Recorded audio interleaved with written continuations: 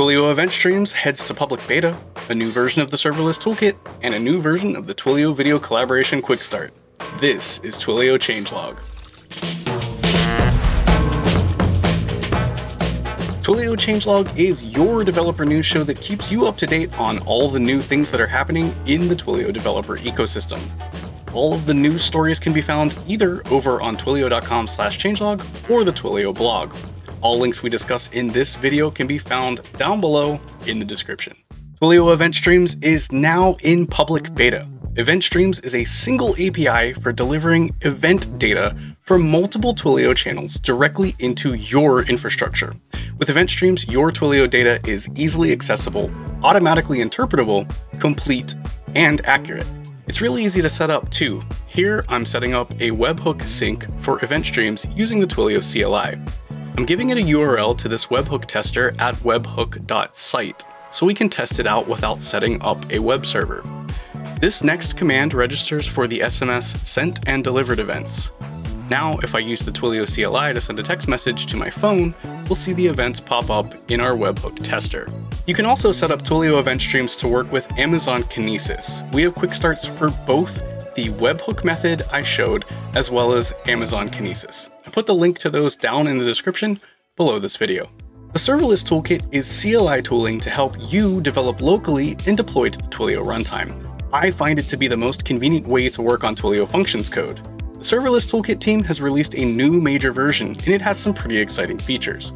First, there's a new way to specify configuration options. In the past, you had to pass config parameters via CLI flags.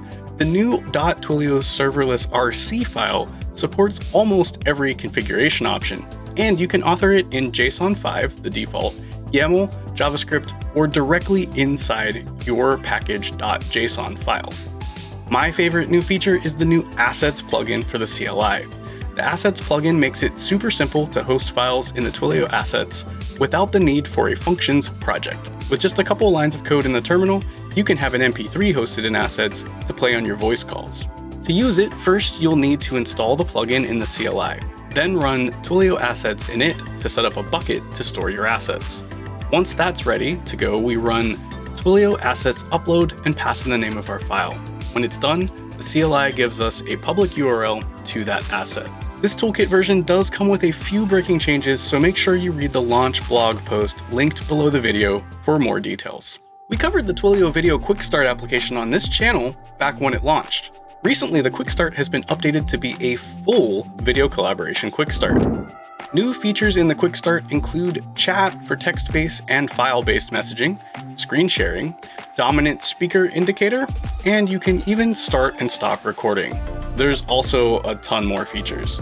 You can find the Quick Start inside of Twilio Code Exchange or over on GitHub. If you'd like to see a full demo of the Quick Start in action, check out the Twilio Releases Q2 2021 webinar. The Twilio Releases team puts out fantastic quarterly webinars. You can find all of the past Twilio release webinars over at twilio.com slash releases. If you've enjoyed this Twilio news update, let us know down in the comments. If you're looking for something else to watch right now, check out this tutorial from Nathaniel about how to transcribe live phone calls. I'll see you next time. I'm out of here.